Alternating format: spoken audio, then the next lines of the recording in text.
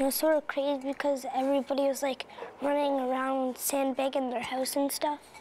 Almost a year has passed, but the memories are still vivid from the flood of 2013. Thousands of residents were evacuated from the flats as the South Saskatchewan River rose, pouring water into homes and businesses, reaching as far as the historic Clay District and Elm Street School. The flood hit just a few days before the end of the school year, forcing staff to close its doors early for summer break. It was fun because the school closed early and I got more time to spend with my other friends.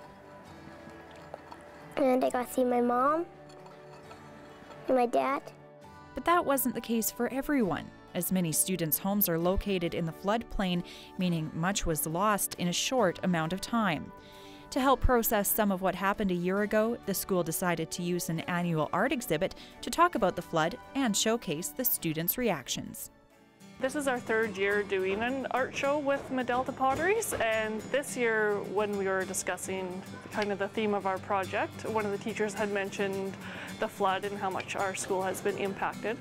So when we approached the artist with the idea, she definitely uh, ran with it, decided to do um, relief tiles and all the students um, put their memories, whether it was you know being impacted by an evacuation, uh, going to grandma's house, or um, just simply watching it from the top of the hill. It's a house that got flooded trees and like a light post and there's like stuff floating in the water. I have a sun and this is the Finlay Bridge and some mountains and then the water.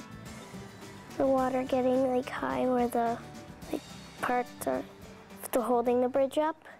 Well, it was kind of confusing at first because we had to go to hotel and other hotels a bunch of times and it was kind of sad because everyone's valuables were like on the ground and everyone lost things.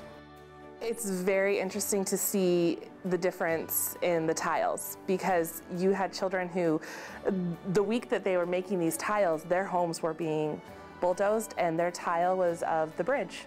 Or, you know, and it's really interesting to see that that wasn't necessarily what they wanted to talk about or wanted to work on, and that's okay. That's that's all part of what they're doing. And then you know, I'm we live up on the hill. We weren't affected by it, and so I in children who weren't affected by it, you, there's almost a level of excitement about what happened and what went on because it's something they've never seen before and never been a part of before. But there were a few. Um, where they expressed, you know, I lost all of my Lego, and that was very emotional to them. So they drew their or made their Lego pieces on there. A few um, talking about you know going to a hotel and having to stay in a hotel for a long time. So uh, more so when we did our writing pieces to go with the tiles to explain their process, that was um, where I saw a lot of the emotion come out more. The tiles will be on display in the Yuill Family Gallery until June 22nd, with an opening reception taking place June 10th.